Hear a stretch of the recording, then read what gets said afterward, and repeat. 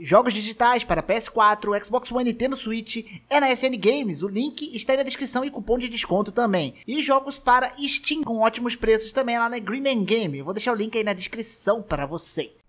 Oi gente, eu sou o Hades e estamos aqui para mais um vídeo. Eu aposto que já aconteceu de você zerar um jogo e quando você vai ver a lista de chefes dele ou algum amigo fala com você, você fala, caramba, eu não encontrei esse chefe no jogo. Isso porque o chefe ele era meio que secreto ou tinha alguns esquemas para você fazer para encontrá-lo.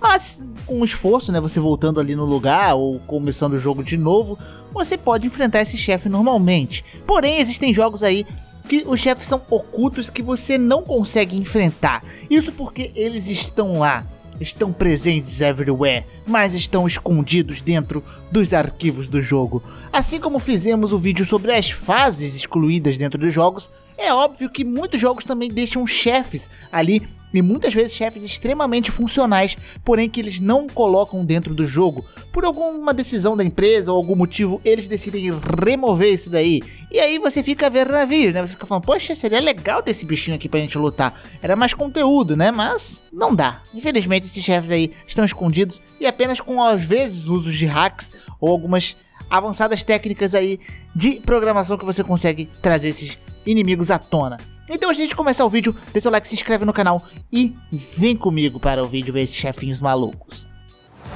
Bem, vamos começar aqui com Silent Hill. Bem, Silent Hill, ele tem alguns inimigos barra chefes ali que estão escondidos dentro do jogo, inclusive eles têm nomenclatura, eles têm moldes 3D, tudo muito funcionando, né? E, tipo, alguns deles que eles encontram é relacionada ao medo, assim, de alguma pessoa. Então, sei lá, às vezes a pessoa tem medo de borboleta. Eu não sei se alguém tem medo de borboleta. Mas, por exemplo, esse inimigo acaba sendo encontrado no jogo. E eles têm uma nomeação, tipo assim, borboleta é BTFY, né? Que significa butterfly. Ou sapo, que é frog, FRG. Cobra, snake, SNK.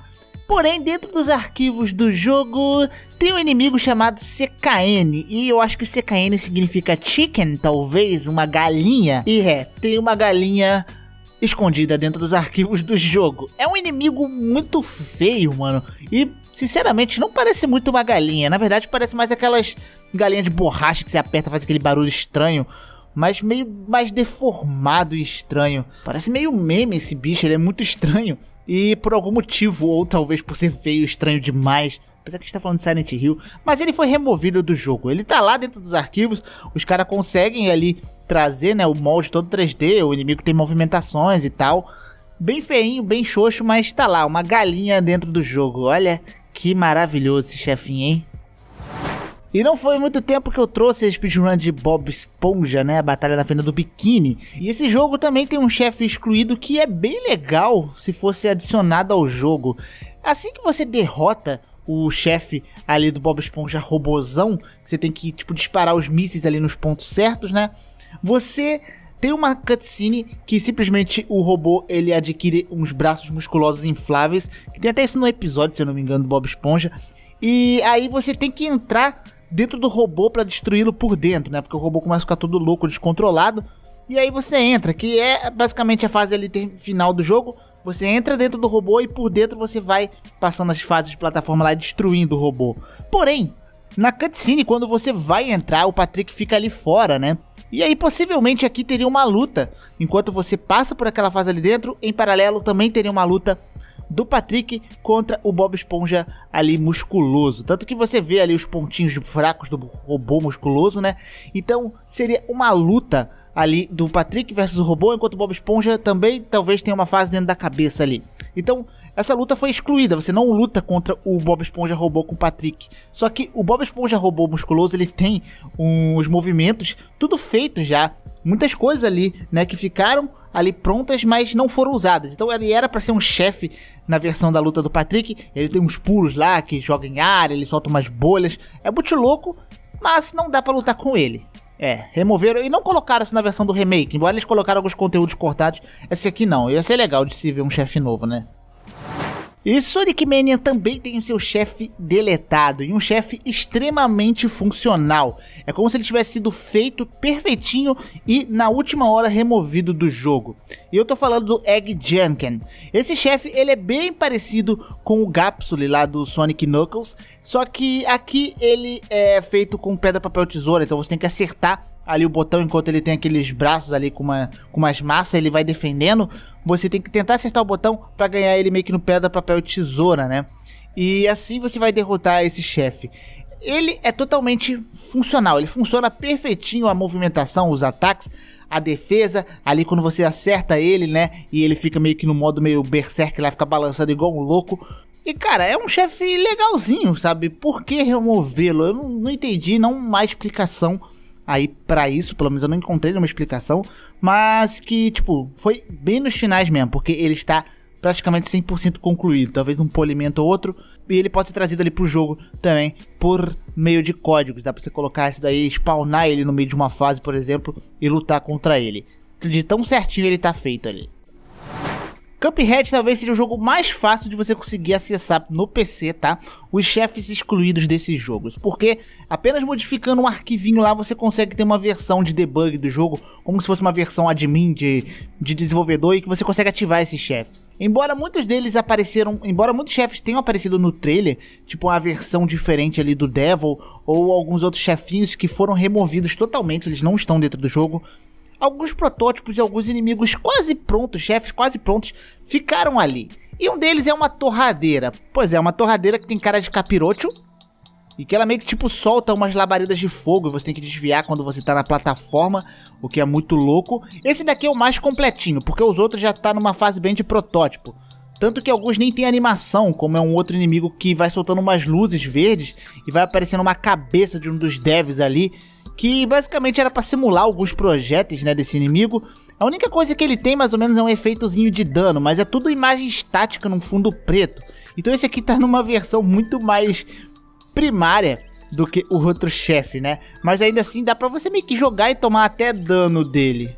E por último temos outro chefe que você consegue jogar, que é um chefe que seria uma espécie de luta contra um chefe relacionado à imagem de cartas, né? Então você teria que, tipo um minigame do lado que você tem que encaixar ali, spawnando e ao mesmo tempo você talvez ia ter que ir atirando. Até porque a mecânica não está completa, o conceito tá ali, né? É uma luta de cartas, você tem que, tipo, fazer um, um parece meio que um Tetris da vida. Você tem que combinar as cores a lá Candy Crush, né? Combinar as cores dos negocinhos, talvez. E enquanto você lutaria com o chefe de cartas, né? E tá ali, tá ali no jogo, mas não tem nada funcional. Mas era um chefe que viria à tona também. Mas que por algum motivo, ou porque não encaixaria talvez bem no jogo, não ficaria muito divertido, eles foram removidos. E como eu trouxe no último vídeo de fases, a From Software é mestre em deixar coisas dentro do jogo. E Bloodborne e Dark Souls são perfeitos exemplos para isso. E o bizarro do Bloodborne, cara, é porque, tipo assim, esses chefes, quando eles eram descobertos, alguém entrava e era muito mais difícil fazer isso, né? Porque o PlayStation ele é bloqueado em si, então o cara tinha que desbloquear o PlayStation, se eu não me engano, para conseguir mexer nos arquivos do Bloodborne, porque ele é um jogo exclusivo, diferente do PC que você faz isso muito mais fácil, né? Ou no emulador, dá pra fazer agora. E eles mexiam nos arquivos do jogo e conseguiam ver e achar moldes desses chefes excluídos, né? E acharam, tipo, uma cobra gigante, que é o Snake Ball, acharam uma versão de um dos chefes da presença da lua do jogo, só que numa versão meio sem textura, meio gosmenta. E é como se fosse uma versão número 2, talvez uma versão de teste que eles fizeram. E também acharam uma fera, uma besta ali, numa forma de luta de chefe também, com movimentos e tudo. E o bizarro disso é que os caras conseguiam colocar isso dentro do cálice. O cálice, para quem não joga Bloodborne, é basicamente levels que são meio que gerados proceduralmente, aleatoriamente, e quando você cria um cálice, você pode compartilhar o mesmo cálice com outra pessoa online. Então os caras criavam um cálice, colocavam esses inimigos dentro e você podia entrar nos cálices desses caras que meio que hackearam o jogo e enfrentar esses inimigos que não estavam lá dentro. Olha que bizarro. Tanto que eu trouxe até vídeo de eu mesmo lutando com alguns desses chefes, que alguns nem tem como matar, eles estão ali apenas, mas tem movimentos, são meio bugados sim, porque estão semi-incompletos, mas tem movimentos, tem tudo, cara. É bizarro isso aqui. E dava pra lutar, todo mundo conseguia compartilhar o chefe quando os caras descobriam isso. Era muito louco. E, bem, funciona, né? Tá funcional, mas foram excluídos do jogo. E por último, talvez um dos mais populares chefes ali agora de Dark Souls, né, do Dark Souls 1, é o Rei Morto-Vivo, né, o Yarel. Esse inimigo ele era para aparecer ali na área dos Four Kings, provavelmente, né, porque ele era um dos reis ali. E ele é um chefe. E esse chefe, ele tem, tipo, movimento já de chefe, ele tem sons que estavam dentro do arquivo do jogo, sons de ataque, sons de meio que grito quando ele ataca. tinha uma armadura bem feita ali, embora faltando um pouquinho de polimento, mas tava lá, o chefe tava lá. E, tipo, foi uma parada que a galera especulou muito do que, que ele era, no quesito de história, né? Inclusive, um dos motivos da galera, né, destrinchar Dark Souls é pra descobrir mais sobre as histórias do jogo, nos processos ali, né, de coisas excluídas, qual a intenção dos desenvolvedores. E ele tava lá, e os caras conseguiam trazer. Tanto que teve um mod, inclusive, né, que foi o Daughters of Ash, que trouxe ele como um chefe completo do jogo. Você podia enfrentar, ele tinha movimentos que eram meio que novos também, que os mod, modders colocaram, mas que o molde desse chefe foi totalmente reaproveitado desse chefe excluído do jogo. Ele tava lá, meio que perfeitinho, voltava talvez mais alguns ajustes para colocá-lo como um chefe. Mas a From Software decidiu removê-lo e ele foi removido para sempre de dentro do jogo e ninguém enfrentou, a não ser que você baixou um mod. E meus muchachos, esse aqui é o vídeo, espero que vocês tenham gostado. Se vocês gostaram, não esqueça de deixar seu like, se inscrever no canal. Muito obrigado pela atenção de vocês. Meu beijo, grande abraço, um beijo no popô. Até o próximo vídeo, é nóis. E fui.